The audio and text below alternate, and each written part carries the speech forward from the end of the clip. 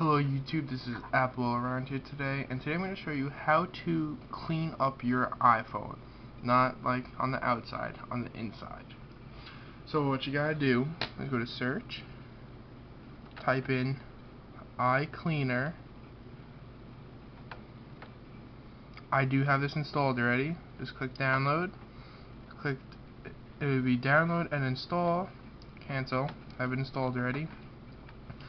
Right there iCleaner This is basically, if you know what Fragment is on Windows, this is, um, like it, but here I'm doing it, I've had it downloaded, I waited until I could make a video about it. Yes, clean everything. Sure, why not? Sure.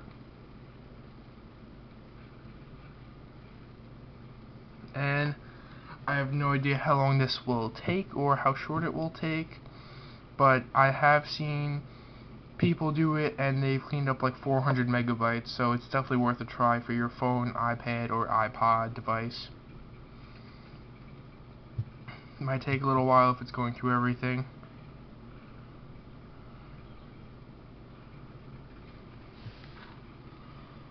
Um, I recently haven't made any videos because school and sports have taken up a lot of my time, so I don't have enough time. I come home, do some of my homework, and then go to bed. That's my life been for the past two or three months.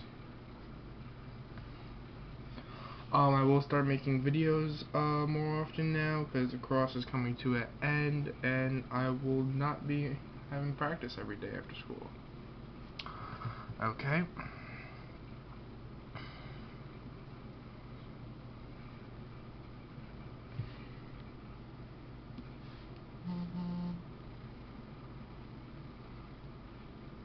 Sorry about that.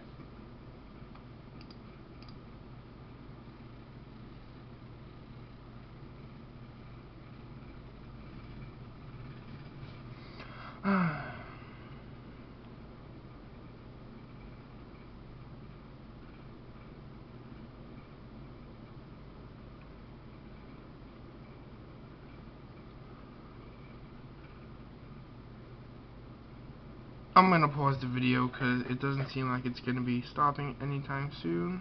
So I'll be back. Okay, so it is done. It has cleaned up 397 megabytes of space, and it said after 10 seconds it will respring the device. So I cleaned up 397 megabytes of space. That's from cleaning up all the, the logs, the caches, Safari, and all stuff like that. So yeah, I probably shouldn't have just pressed pause. I probably should just let it run. So yeah, now let's go to settings, general, and I believe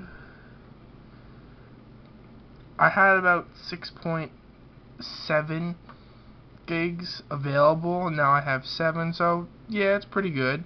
It actually does free up the space, it's not a scam or something like that. Alright guys, thanks for watching, please comment, rate, subscribe, and if you have any questions, um, message me, and that's pretty much it. Alright, see ya.